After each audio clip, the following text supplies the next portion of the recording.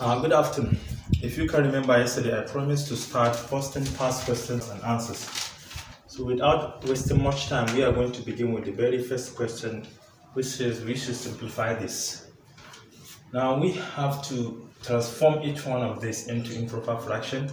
For this one, 2 times 1, 2 plus 1 is 3 divided by 2, plus this time this is 6, plus this is 7, divided by 3, multiplied by 3, divided by 4, minus 1 over 2. We begin with this, but this cancel this. So we end up having 3 divided by 2 plus 7 over 4 minus 1 over 2. Each one of these has a common LCM which is 4. 2 into 4 is 2 times 3 is 6 plus 4 times this is 7 minus 2 here 2 times this is 2 So this will give us 6 plus 7 is 13. Then 13 minus 2 is 11 divided by 4. And 4 can go into 11 two times. Remainder 3 divided by 4. So this is the final answer which is C. And this is the second question we are asked to evaluate 16.56 divided by 0.0536 times 18.2. In this case, you just need your calculator to simplify this. And we are asked to leave the answer in three significant figures, and these are the options given to us.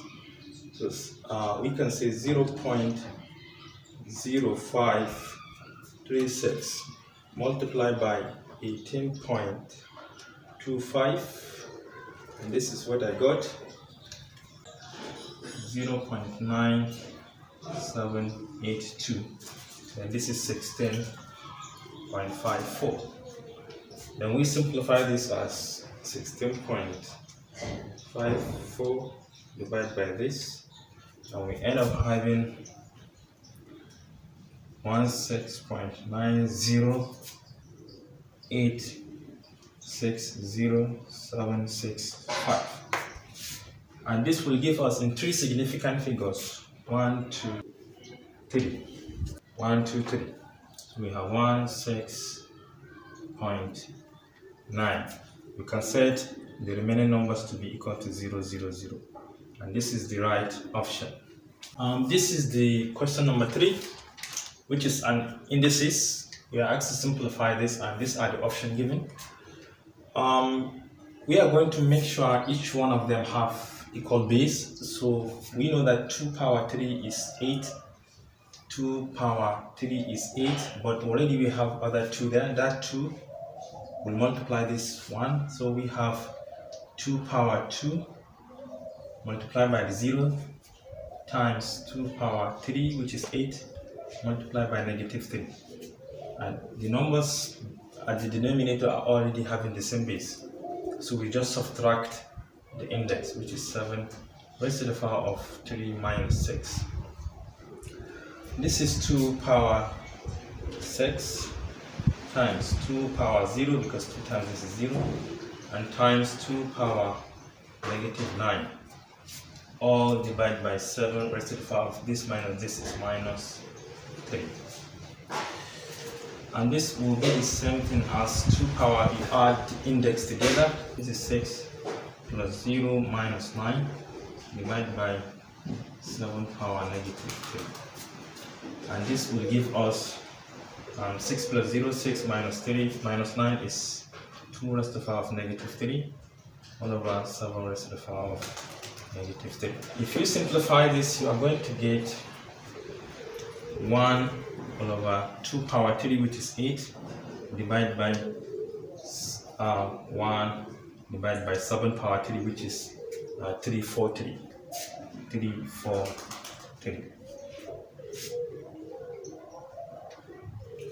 and again 1 over 8 multiply. If you change this one to multiplication you have to take the reciprocal of this which is 3 4 3 divided by 1 we end up having 3 4 3 divided by 8 which is the first option the first option which is 8. Um, question number 4. We are asked to simplify 1 over 3 log of 64 base 2. 1 over 3 log 64 base 2.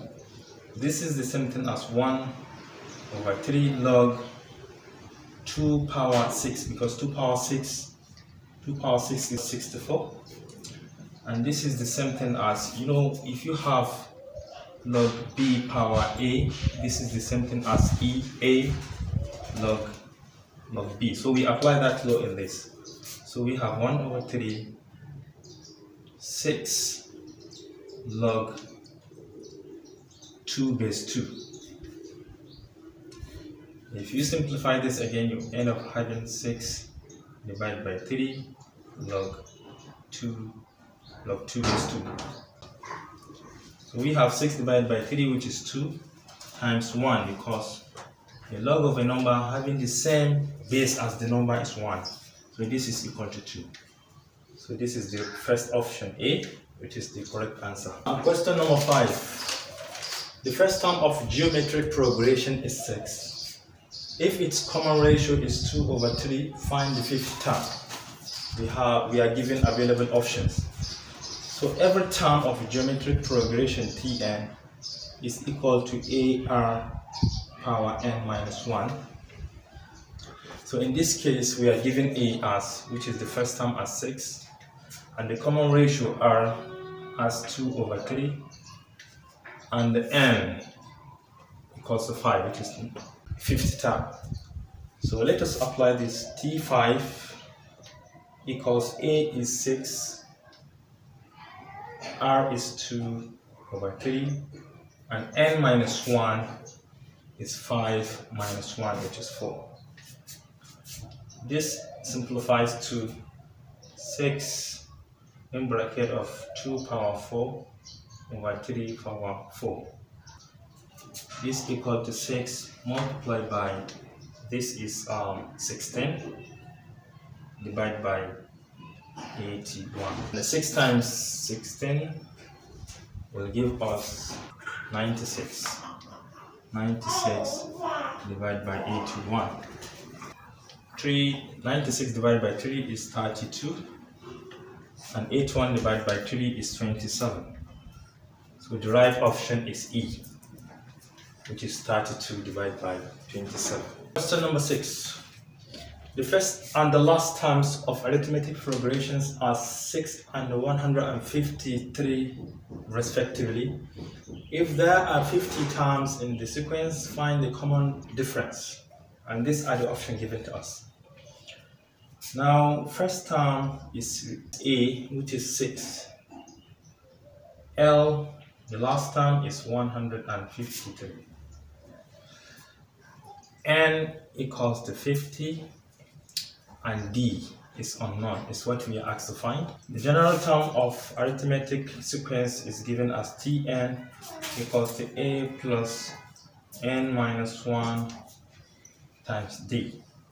And every term is Tn, even the last term, so we can substitute L as Tn. So we have 153 equals to 6, which is A plus n is 50 minus 1, 49 times D.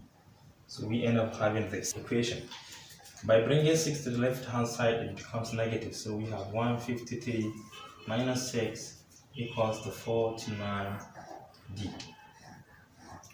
153 minus 6 is 147.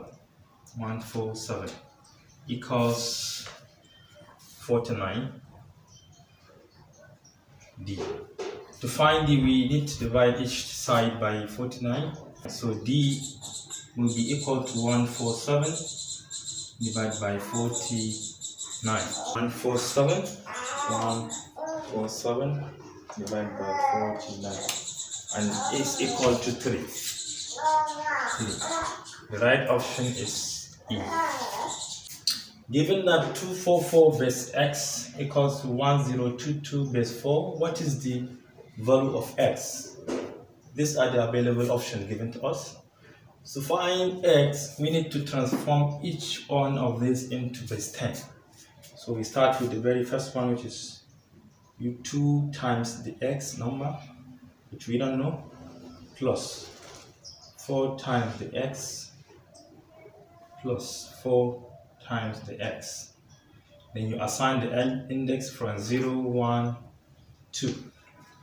And this is the same thing as 1 times 4 to the right hand side plus 0 times 4 plus 2 times 4 plus 2 times 4.